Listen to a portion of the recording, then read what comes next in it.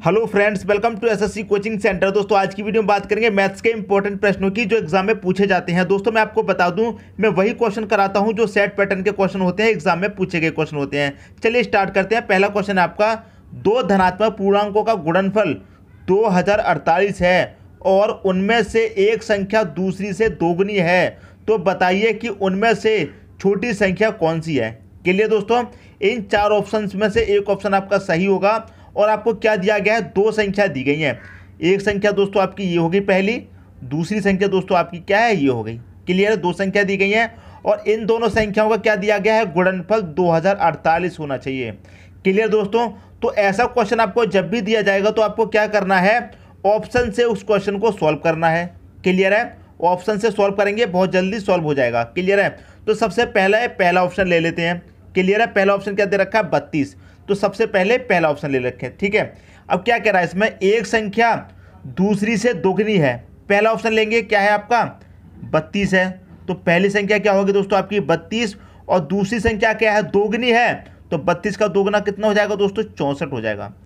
Clear है यहाँ तक बात? दो संख्याएँ ना आपकी, दो धनात्मक संख्या है। और इनका गुणनफल कितना है? दो हज़ार अड़तालीस है। उनमें से एक संख्या दूसरी से दुगनी है। एक संख्या है, वो दूसरी से दुगनी है। तो इसका दुगनी हो गया, चौंसठ। क्लियर है? तो बताइए कि उनमें से छोटी संख्या कौन सी है? पहले तो इनका गुणनफल चेक करेंगे, हमारा 2048 आ रहा है कि नहीं आ रहा? तो क्या करेंगे? दोनों का गुणा कर दीजिए। क्लियर है? दोनों का गुणा करेंगे, कितना आ जाएगा? दो चौक के आठ हो जाएगा यहाँ पर। क्लियर है?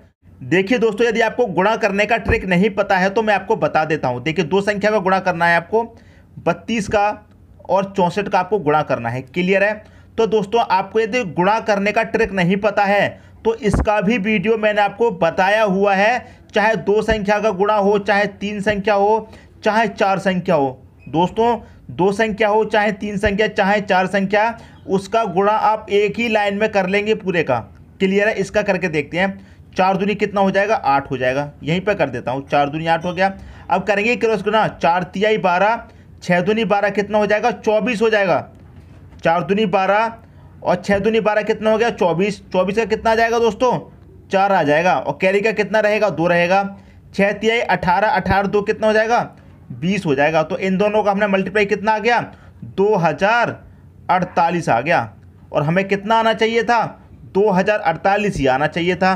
तो इसका मतलब इन दोनों में पहली संख्या और दूसरी संख्या में क्या पूछा गया था? छोटी संख्या कौन सी है?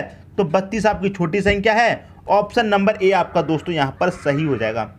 क्लियर है? उम्मीद करता हूँ क्वेश्चन आप सबको अच्छे तरीके से समझ में आ गया होगा। आप यदि दूसरी संख्या को चेक करेंगे तो चौंसठ रहेगी और इसके या क्या करेंगे? दुगना करेंगे तो चौंसठ का दुगना एक सौ अट्ठाईस हो जाएगा। इसका मल्टीप्लाई करेंगे दोस्तों, ये तो बहुत ज़्यादा चला जाएगा। हमें तो कितना चाहिए? दो हज़ार अड़तालीस चाहिए।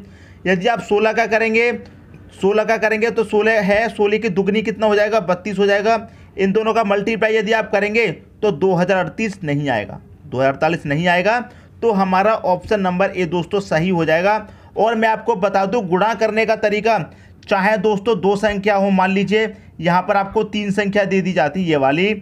पाँच छः सात, ये तीन संख्या दे दी जाए, और इनका गुणा करने के लिए कहा जाए तो इसका भी ट्रिक है। दो संख्या हो तो दो संख्या का भी है। यदि आपको चार संख्या दे दी जाए तो चार संख्या का भी ट्रिक का दोस्तों वीडियो मैंने बनाया हुआ है। यदि आपने नहीं देखा है तो इस वीडियो के डिस्क्रिप्शन में आपको लिंक मिल जाएगा। आप गुणा करना, वहाँ से सीख जाएँगे, एक लाइन में आंसर आ जाएगा और बहुत जल्दी आ जाएगा। क्लियर दोस्तों?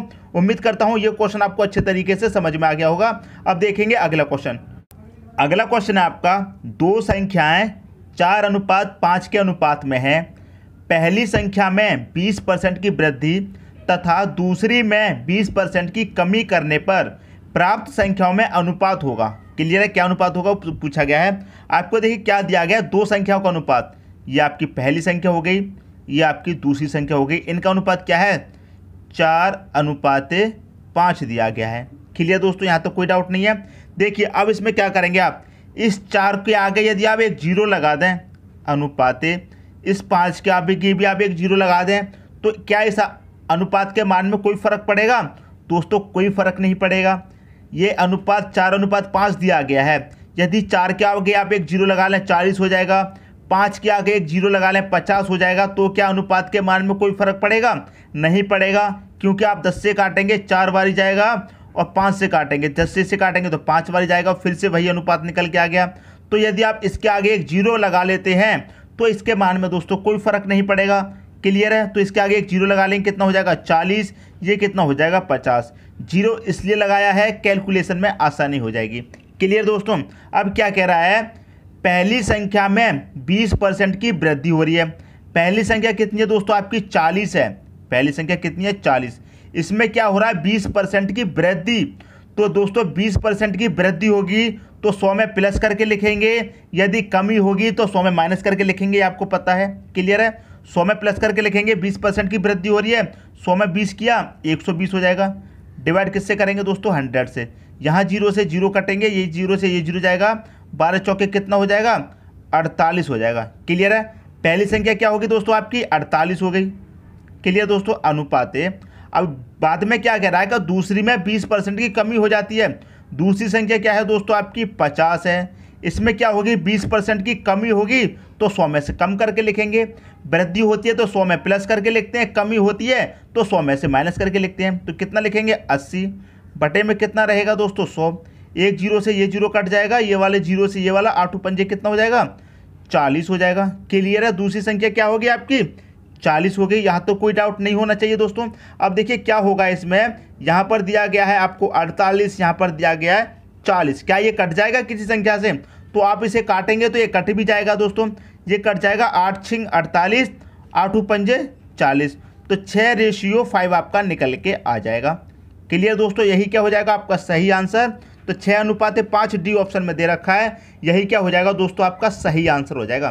क्लियर है? उम्मीद करता हूँ ये क्वेश्चन भी आप सभी को अच्छे तरीके से समझ में आ गया होगा। अब देखेंगे अगला क्वेश्चन अगला क्वेश्चन है आपका, राम श्याम से 20 वर्ष छोटा है, पाँच वर्ष पूर्व इनकी आयु में तीन अनुपात, पाँच का अनुपात था। वर्तमान आयु का योग बताइए। क्लियर दोस्तों, आपसे क्या कहा गया है?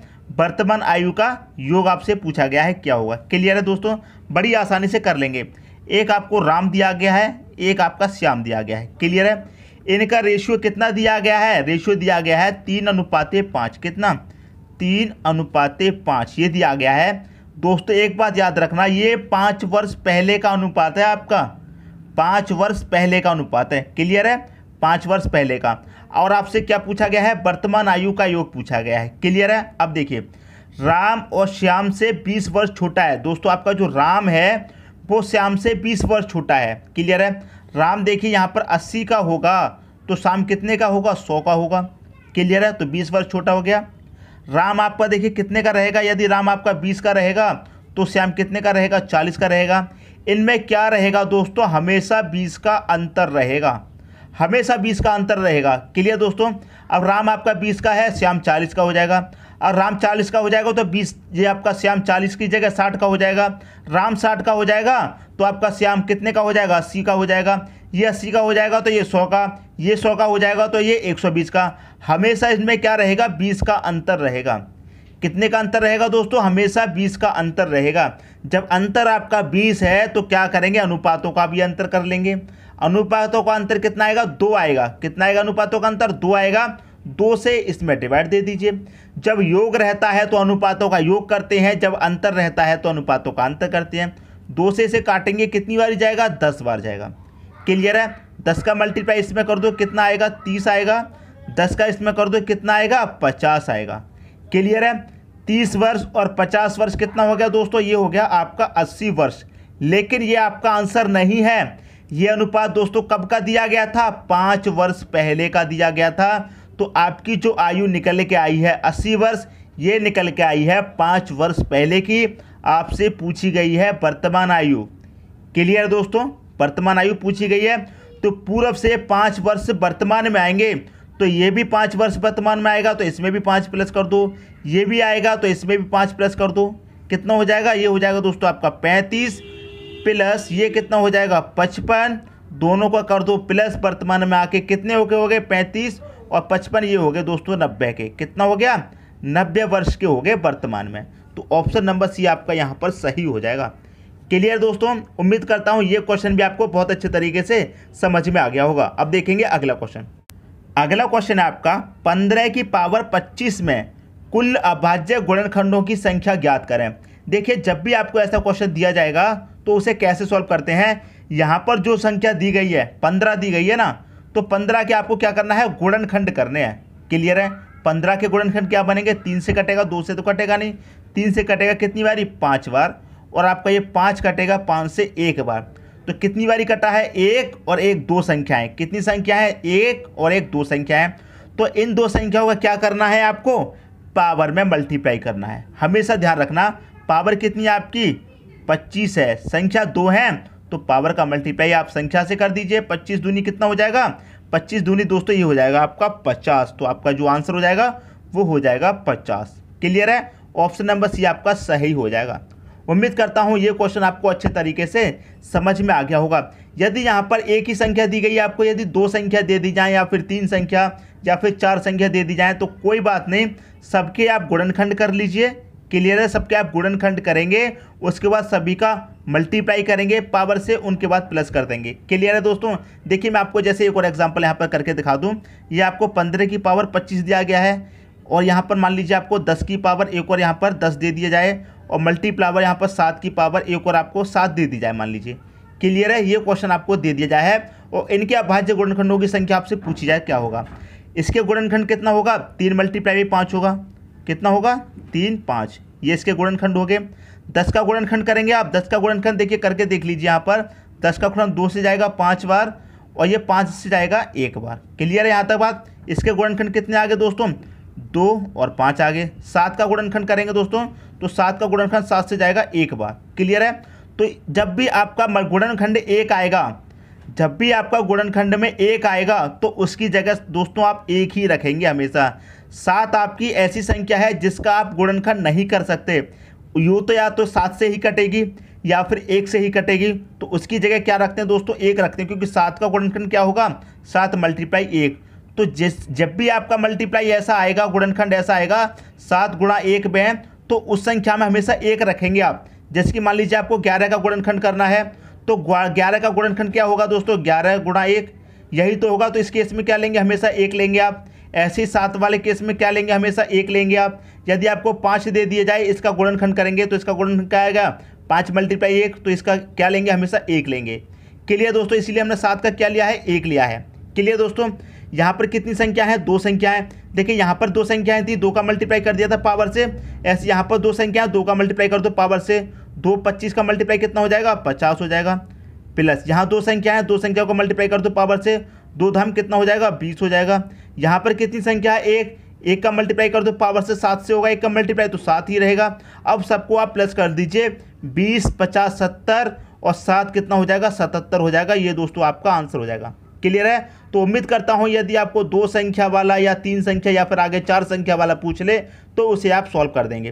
क्लियर दोस्तों? उम्मीद करता हूँ ये क्वेश्चन आपको अच्छे से क्लियर हो गया होगा। अब देखेंगे अगला क्वेश्चन अगला क्वेश्चन है आपका 48 की पावर 20 के कुल अभाज्य गुणखंडों की संख्या ज्ञात करें। बहुत सिंपल है दोस्तों। 48 की पावर कितना दिया गया है? 20 दिया गया। तो क्या करेंगे? 48 का गुणनखंड करेंगे। 48 का दोस्तों आप गुणनखंड कर लीजिए, बड़ा ही आसान है। दो से कटेगा कितनी बार? चौबीस बार। और दो से चौबीस कटेगा कितनी बार? बारह बारी और दो से बारह कटेगा कितनी बार? छः बार। और दो से छः कटेगा कितनी बार? तीन बार। और तीन से तीन कटेगा एक बार। तो कितनी बारी कटा है? एक, दो, तीन, चार, पाँच बार कटा है। कितनी संख्या होगी दोस्तों? पाँच हो गई तो पाँच का मल्टीप्लाई कितने से करेंगे? पावर से करेंगे। तो पाँच का बीस से मल्टीप्लाई कर दो, कितना आ जाएगा आपका आंसर? सौ आ जाएगा ऑप्शन नंबर डी पिछले क्वेश्चन में देखा था, दो बार कटा था तो दो संख्या हो गई थी। यहाँ पर पाँच बार कटा है तो पाँच का मल्टीप्लाई करेंगे पावर में। दो बार कटेगा तो दो से करेंगे, चार बार कटेगा तो चार से करेंगे। उम्मीद करता हूँ ये क्वेश्चन आपको अच्छे तरीके से समझ में आ गया होगा। जितनी बार गुणनखंड हुआ है, उतनी संख्या से आप मल्टीप्लाई कर दीजिए पावर में। यहाँ पाँच बार हुआ है तो पाँच का मल्टीप्लाई पावर में। चार बार होता तो चार का, दो बार होगा तो दो का। क्लियर दोस्तों, उम्मीद करता हूँ ये क्वेश्चन आपको अच्छे तरीके से समझ में आ गया होगा। दोस्तों, यदि वीडियो पसंद आया तो लाइक करें और दोस्तों में भी शेयर करें। यदि आपने हमारे चैनल को अभी तक सब्सक्राइब नहीं किया है तो कर लीजिए और बेलाइकन का बटन भी दबा दीजिए दोस्तों। धन्यवाद।